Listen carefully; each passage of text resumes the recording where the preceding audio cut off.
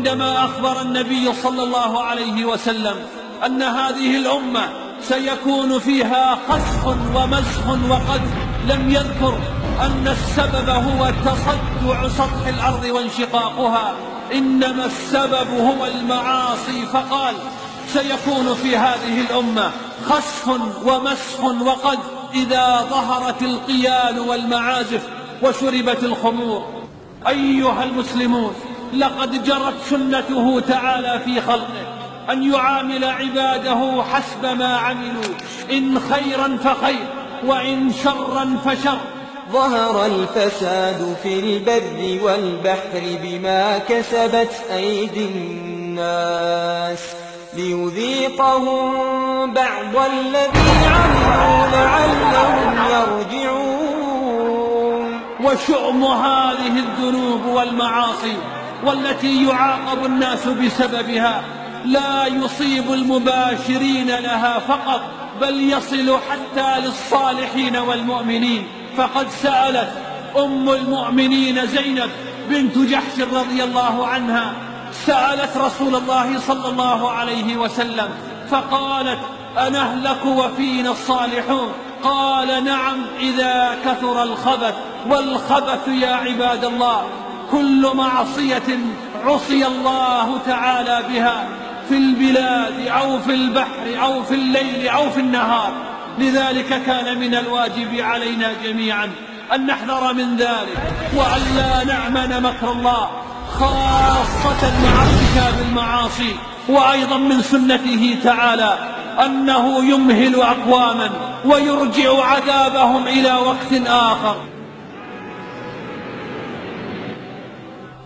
ونحن الآن اطلعنا مع بعضنا البعض على هذه العلامات ورأينا أن جميعها قد وقع.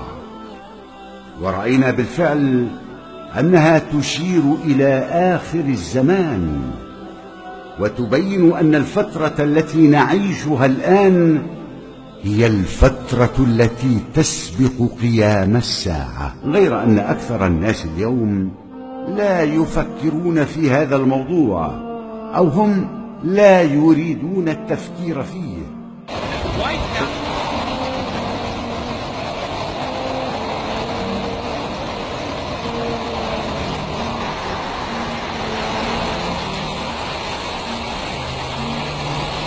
وهم لا يتحملون قراءة أخبار الكوارث.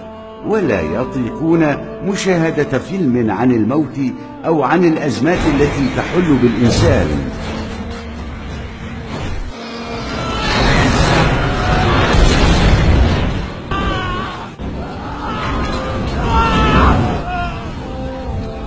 وهم يفرون من التفكير في القيامة بسبب الخوف بينما هم حتما سوف يلاقون ساعتهم في يوم من الأيام.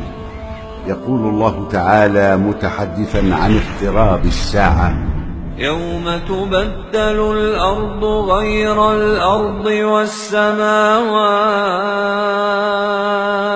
وبرزوا لله الواحد القهار.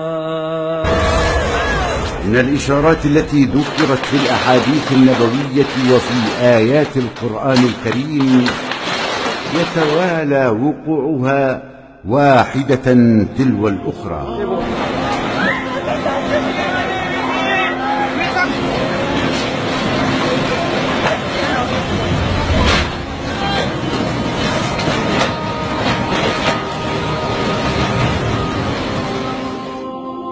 والعالم يعيش تطورات لم يشهدها في أي وقت من أوقات التاريخ. تطورات سريعة نعيشها كل يوم.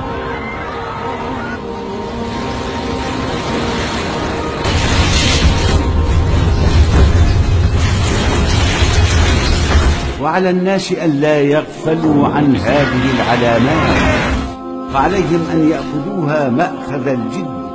وأن ينظروا إليها نظرة المتبصر وعلامات آخر الزمان هي في الحقيقة انذار مهم وتذكير فيه الكثير من الخير. قل هو نبأ عظيم. قل هو نبأ عظيم. قل هو نبأ عظيم. أنتم عنه معرضون. أنتم عنه معرضون. قل هو نبأ عظيم. أنتم عنه معرضون.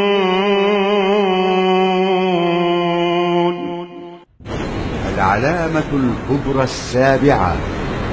الكسوف الثلاثة.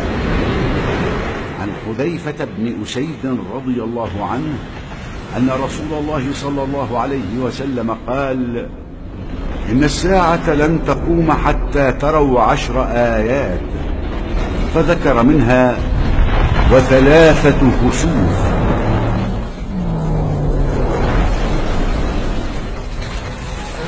خسف بالمشرق وخسف بالمغرب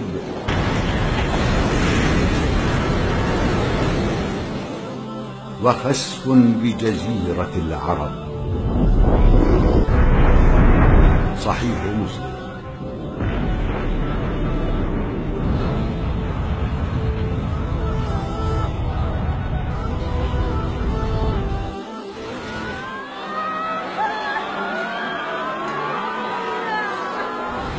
ومثل كل موضوع فإن في هذا المقام أيضا ما نختم فيه. وهو ما جاء في القرآن الكريم.